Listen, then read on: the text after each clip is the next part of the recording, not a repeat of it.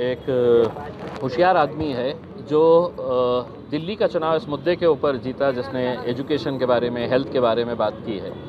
लेकिन कल जब उन्होंने इस तरह का बयान दिया कि नोटों के ऊपर भी देवी देवताओं के, भगवान के फ़ोटो होने चाहिए करके। तो मुझे समझ में आया है कि इनके दिमाग में भी दिमाग नहीं है, गोबर भरा हुआ है क्योंकि जब लोग इस तरह के बेफजूल मुद्दों को उछालते हैं, उठाते हैं तो उनको मालूम होता है कि हमारे से सही सवाल जो है, जो लोगों से जुड़े हुए सवाल है, वो कोई पूछेगा नहीं। वो यही पूछेगा कि आप नोट में किसकी तस्वीर लगाना चाहते हैं करके। और आप देखेंगे पिछले कुछ दिनों से यही मुद्दा गरमाया हुआ है, जबकि हकीकत ये है कि आज बेरोज़गारी के बारे में उनको बोलना चाहिए था, आज महँगाई के बारे में उनको बोलना चाहिए था।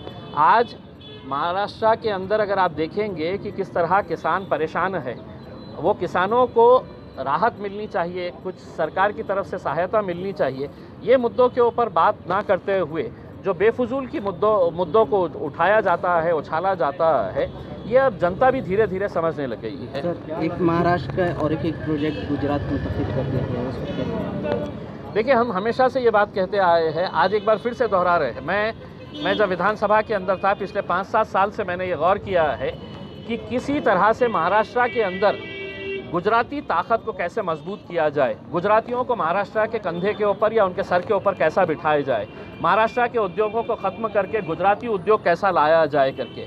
यहाँ के उद्योग को ख़त्म कर दिया जाए। यहाँ पे जो आने वाला उद्योग है, जिसकी वजह से कई सौ नहीं, कई हज़ार बच्चों को रोज़गार लगा होता, महाराष्ट्रियन बच्चों को तो उसको उठा कर लेके चले जाना और गुजरात में पहुँचा देना।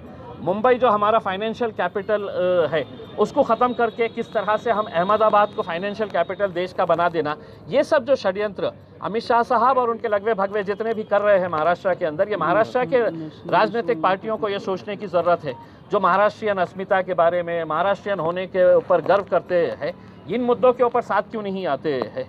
क्यों नहीं सवाल करते हैं देवेंद्र फडणवीस साहब से कि आप महाराष्ट्र के मुख्यमंत्री रह चुके हैं? आपकी प्राथमिकता जो है, वो महाराष्ट्र की तरफ़ ज़्यादा होनी चाहिए। आप गुलामी जो कर रहे हैं वो अपने आकाओं की वजह से आप गुजरात के लिए गुलामी कर रहे हैं। जबकि हकीकत यह है कि आपको महाराष्ट्र के और महाराष्ट्रियन लोगों के बारे में सोचने की ज़रूरत है। सर जिस तरह से नोट के ऊपर गणपति जी का ज़िक्र आया क्या आपको लगता है कि देश हिंदू राष्ट्र की तरफ़ जा रहे हैं? देखिए ये हिंदू ये मुल्क जो है ये हमेशा से सेक्युलर रहा है और आगे भी रहेगा। ये ऐसे बेफजूल बातों से आ, कुछ होने वाला नहीं है। सिर्फ़ ये अपना ध्यान भटकाने के लिए असली मुद्दों से भटकाने के लिए इस तरह के मुद्दे देते रहते हैं। कई ऐसे लोग हैं समझदार लोग अलग अलग जाति धर्म और मज़हब के अंदर उन्हें भी ये चीज़ पसंद नहीं आती है।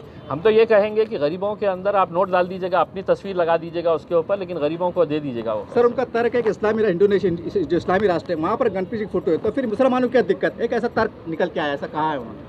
नहीं नहीं ये नोटों से उनको क्या तकलीफ़ है बताइए ना।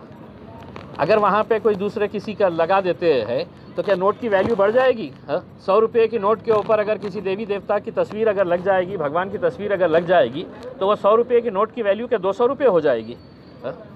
भाई जो सौ रुपये है वो सौ ही रुपये रहने वाला है। क्या अरविंद केजरीवाल जी आरएसएस के रास्ते पर चल रहे हैं? देखिए मैं हम हमेशा से ये कहते थे कि आरएसएस ने तैयार किया हुआ ये एक दूसरा प्यादा है।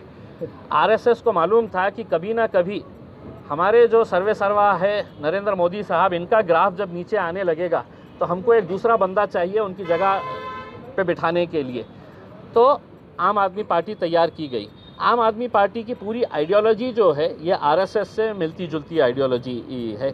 और यही लोग है कि अब इस तरह से इनको आगे बढ़ाया जा रहा है ताकि मोदी अब धीरे धीरे ख़त्म होने आ रहे हैं उनकी पॉपुलैरिटी घटती जा रही है तो अरविंद केजरीवाल को बढ़ाया जा रहा है। तो ये सब सोची समझी साजिश के तहत आरएसएस कर रही है और अब लोगों को भी ये चीज़ समझ में आने लगी गुजरात में चुनाव है उसको किस तरह से देखते हैं?